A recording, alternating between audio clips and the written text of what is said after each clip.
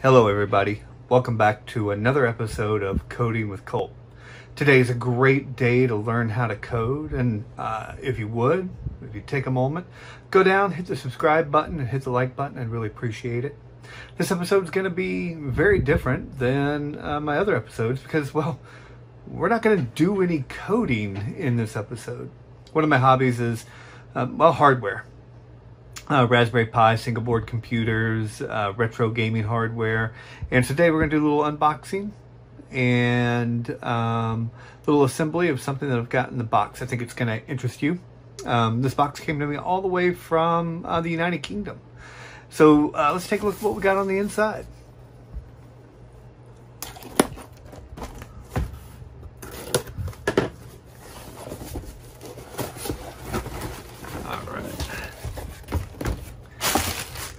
Ah, yes. So one of my biggest pet peeves with the Raspberry Pi 4 is that it is a heat monster.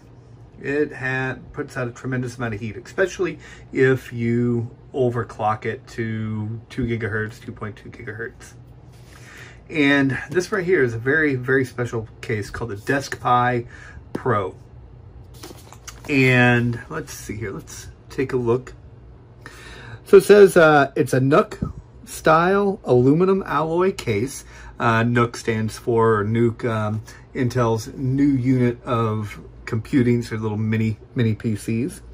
It's got extended GPIO rear panels, um, but the uh, best thing about this is that it's got a massive heat sink on the inside. So let's take a look.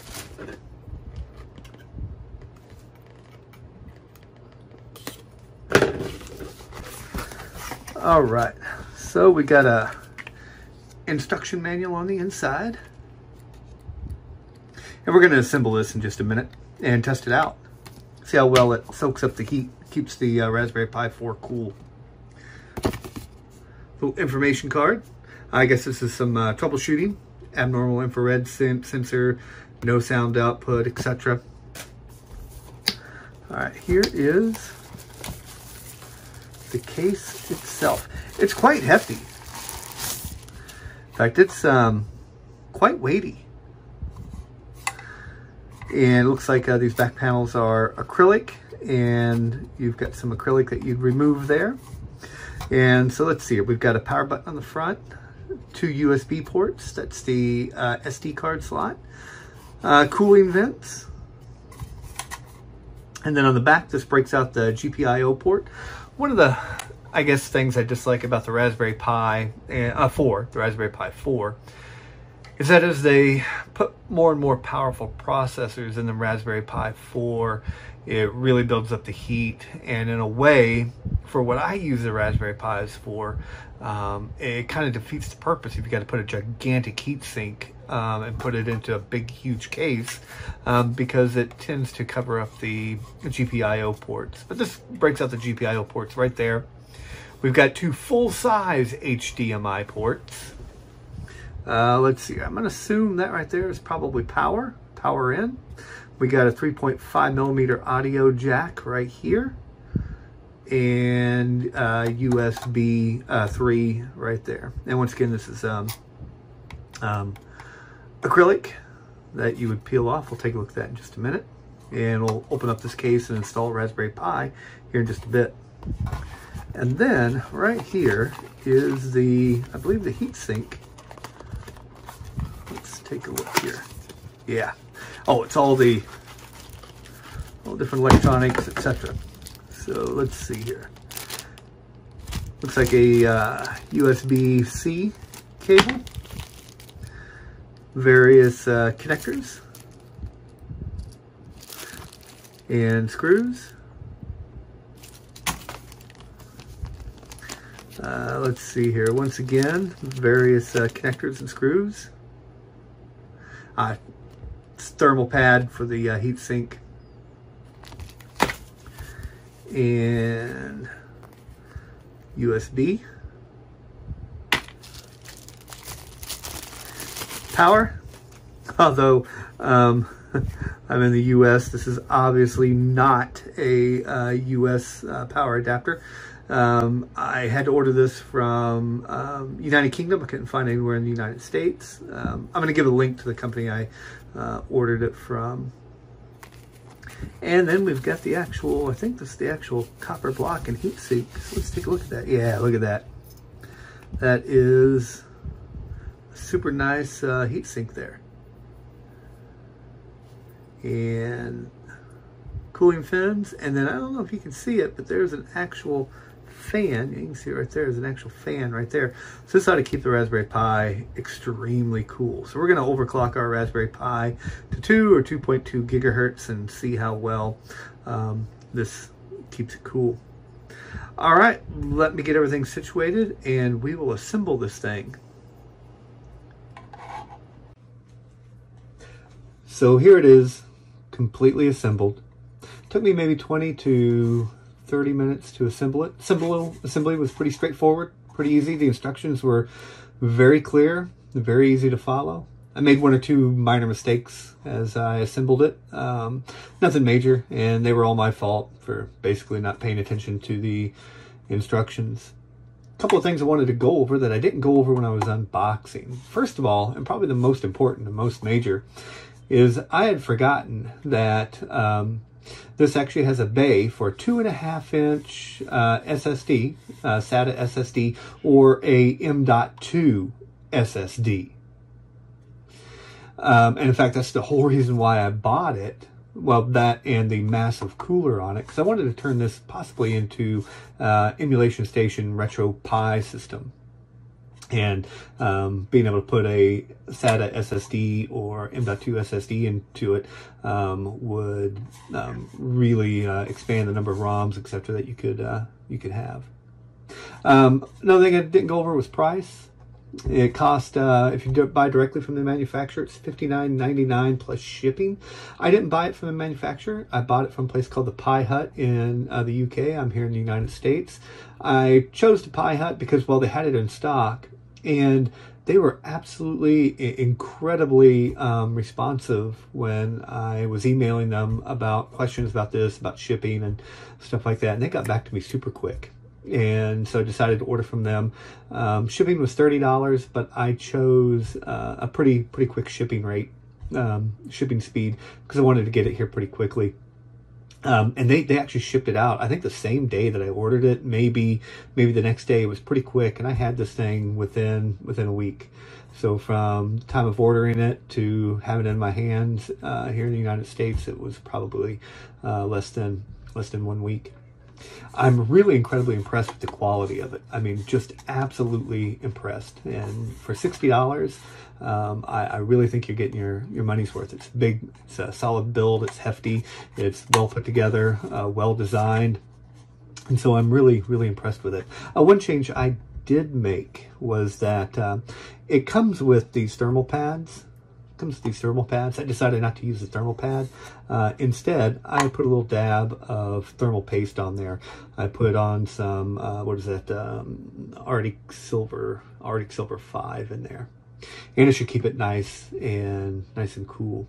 In fact, speaking of that, let's go over here and uh, let's stress test this thing. Uh, let's get it all hooked up, get everything installed, stress test it, and let's see just how well that fan and heat sink actually uh, actually performs. So let's go do that right now. Okay, I put it through its paces, stress tested it for a bit, wanted to show you the results. Before I did that though, um, there's some software that you have to install. That software is used to um, control the fan speed, um, do the safe shutdown for the power switch and a few other things. In the instruction manual, it gives you a command enter into um, a terminal that installs the software that you need. Then there is a it installs a basically a configuration program to allow you to configure the fan speed. And right now I have the fan speed set to 4, uh, fan speed level set to 100%, and it's surprisingly quiet. If you've got it in a room where there's a little bit of background, background noise, you're probably not going to notice the fan especially if you've got it sitting out to the side away from you. I've got mine uh, sitting right next to my gaming PC, and the PC I use to um, shoot video, etc. And it's got four, five, six fans in it, giant graphics card. It's loud, and so I don't notice it at all. What I did was I uh, overclocked my Raspberry Pi. I've got this one overclocked to uh, 2.2 gigahertz, as you can see right up there, 2.2 gigahertz. And if I do that, you can see I've got it overclocked to 2.2 gigahertz. And the um, uh, GPU freq, I think I have it set to 750 megahertz. And I took temperature readings. Uh, well, I stress tested it. So um, I entered in that command uh, to stress test it. I stress tested it for 30 minutes while I took uh, uh, data. And I took that data and graphed it, and it's absolutely amazing. So I have this Raspberry Pi 4 overclocked to 2.2 gigahertz, which is a really, really good overclock on a Raspberry Pi, and the GP, uh, GPU freq set to 750 megahertz. And with the fan turned on, I got to a maximum. Uh, you see it ramped up pretty quickly. And then it settled out at right around uh, 50 degrees. Uh, looks like the high temperature was somewhere in the neighborhood of 51.6 degrees. Yeah, somewhere in the neighborhood of 51.6 degrees. So it never even got to 52 degrees. And that's an absolutely amazing thermal profile on a Raspberry Pi 4 that's been overclocked to 2.2 gigahertz. It doesn't come anywhere close, anywhere close to thermal throttle speeds. In fact, um, I think a few people have overclocked their Raspberry Pis to like 2.3 gigahertz, and this might actually even be able to uh, do that with uh, this type of cooling on it. But the case is absolutely amazing. For $59.99, you get a case with a massive cooler and fan on it, the ability to uh, put in an M.2 or 2.5 inch uh, SATA SSD. You get safe shutdown. You get um, multiple USB ports. You got two, uh, three, four USB 2, and looks like three USB 3 ports. You get um, full size HDMI ports. It's absolutely amazing for $59.99.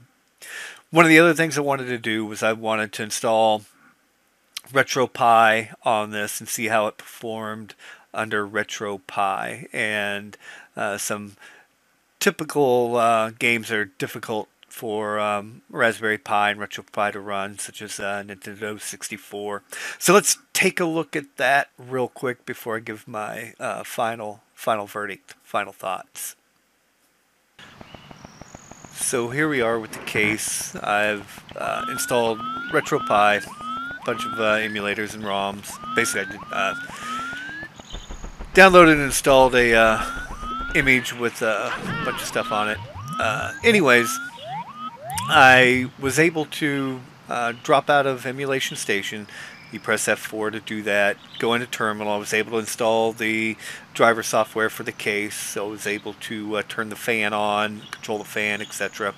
Um, and it works extremely, extremely well, as you can see here. Uh, okay, there we go.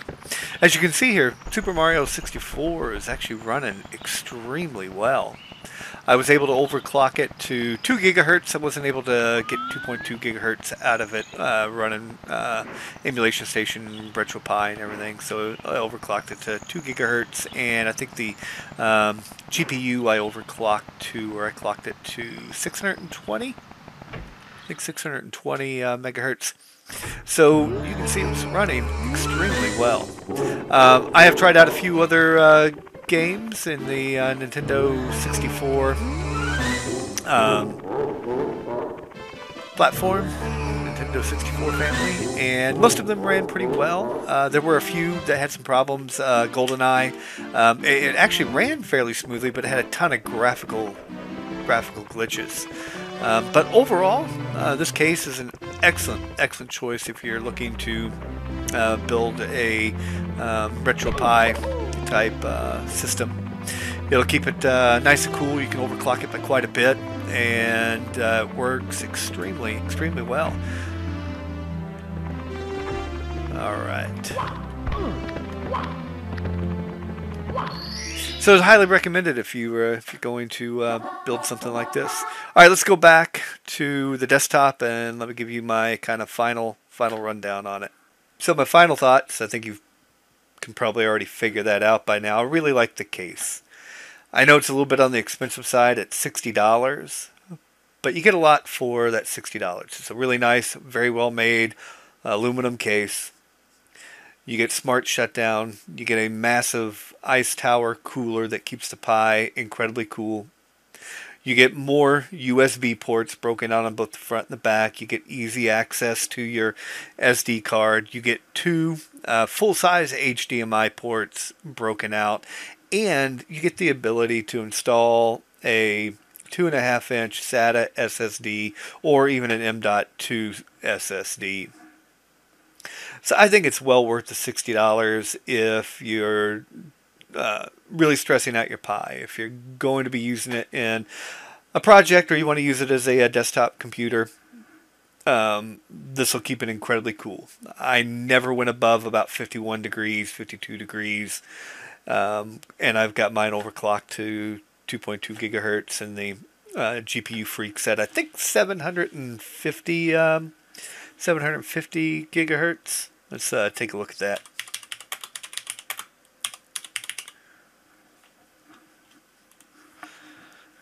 helps to uh, have focus in the window if you're going to type.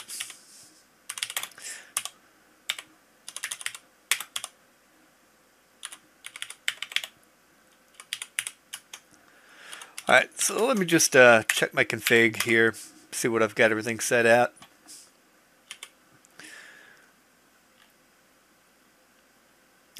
Yeah, I got over voltage set to 8, ARM freq set to 2200, and my GPU freq set to 750, and this keeps it incredibly cool.